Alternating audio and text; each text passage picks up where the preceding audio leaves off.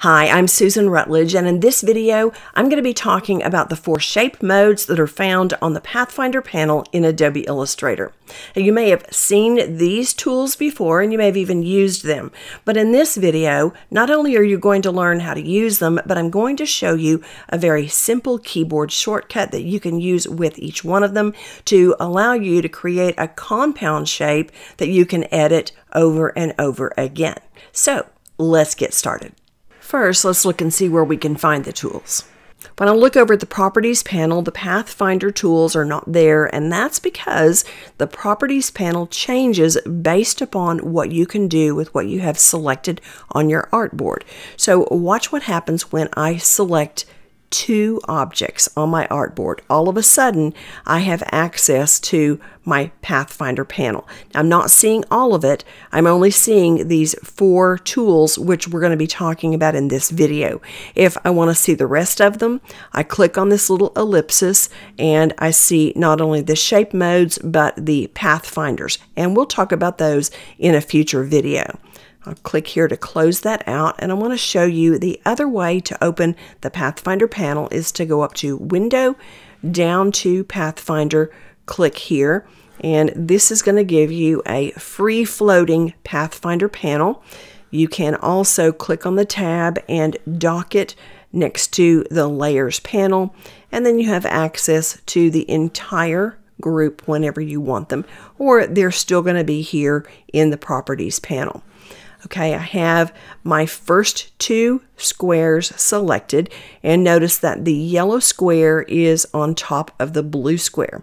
When I click on the Unite Shape Mode icon, what I'm expecting is for these two squares to become one. So let's click here and Illustrator has created one object out of the two squares and it has given the new object the color of the top layer that we had on the artboard. And I come down and select the next two squares. Now we're going to use the Unite Shape Mode icon again, but this time I'm going to hold down the Option key. And when I do, Illustrator is going to create an object that looks very similar to what it created without the option key, but there's one major difference. You can see that even though Illustrator did change the color of this back layer, both of my squares still have maintained their individual shapes. And let me show you what happens if I get the direct selection tool, keyboard shortcut A, and then I click on one of the squares. I'm able to move it around wherever I want. I'll select this one and I'll move that here and I can move these around anywhere that I want.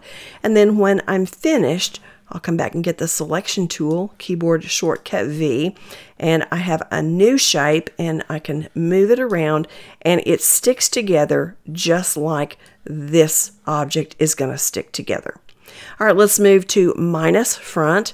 When I select these two squares and I use the minus front shape mode, I'm expecting for Illustrator to remove the top layer and any part of the layer beneath it that is overlapping. So let's see how that works. I'll come over here and click the second icon. And sure enough, what I'm left with is the part of the back layer which was not overlapped by the front layer. And notice that that this back layer maintained its own color. All right, let's come down and select these two squares. I'll hold the Option key down and click on the second icon, which is the click to minus the front, and we're left with the exact same shape that we have up here. However, we still have our yellow square and we still have this part of the blue square. And all we have to do is click on the artboard to deselect it. Can't tell any difference here, but when I get the direct selection tool, keyboard shortcut A, and I come over here, I'm going to be able to move any part of this compound shape wherever I want it. And when I'm finished, I'll click on the artboard to deselect it. I'll get the selection tool, keyboard shortcut V, and I still have this blue color and I could go back and edit this even more.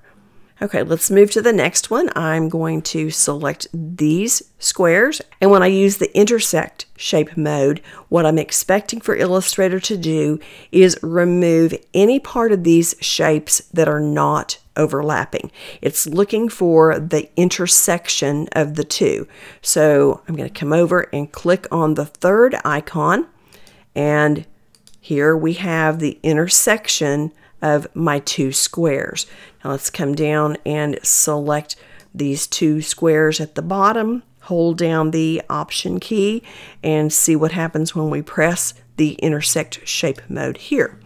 And again, we're left with what appears to be the same exact square, but if I get the direct selection tool, keyboard shortcut A, and I move this around, I'm able to get all sorts of different shapes. So this is still editable when I use the direct selection tool. I'll get the selection tool, keyboard shortcut V, and I'll come over and select these two squares. Now, when we use the exclude shape mode, we're expecting the exact opposite of the intersect shape mode. We're expecting Illustrator to exclude the part that is intersecting and to keep all of the rest.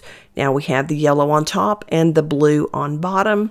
When I come over and I click on this fourth icon, Illustrator has changed the back layer to yellow and we have this object which moves around all together.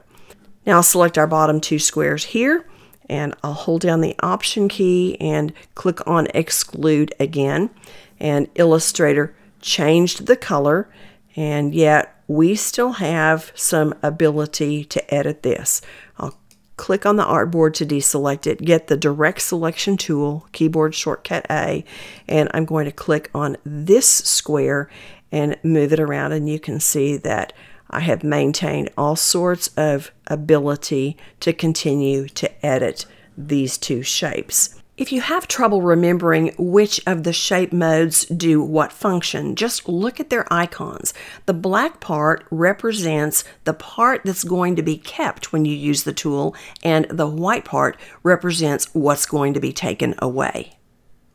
Now let's look at one other thing. I'm going to select these bottom objects here and we're going to delete these. I'm going to move to the layers panel and I'll open up another set of squares. I want to show you that sometimes you may just want to use the shape builder tool because in many instances you're going to be able to come up with the same results. So for the first one here, let's select these two objects. Yellow is on top, blue is on the bottom, and I'm going to get the shape builder tool, keyboard shortcut Shift M, and what I want to do is unite these two objects so I'll hold down my mouse and drag from one to the other. And Illustrator has created one individual object, which is a combination of the two squares that we started with, and we've ended up with the yellow color, which was the top color. All right, let's select these next two squares. So we want to get rid of the top layer and anything that the top layer is overlapping on the next layer down. I'll get the shape builder tool, keyboard shortcut Shift M, and this time I'm not going to unite things. I'm going to remove them. So I hold down the option key and I'll drag my mouse over the parts that I don't want and then I'll get the selection tool, keyboard shortcut V, and here's what I'm left with. Very similar to what we have in the first example. Let's select these squares here.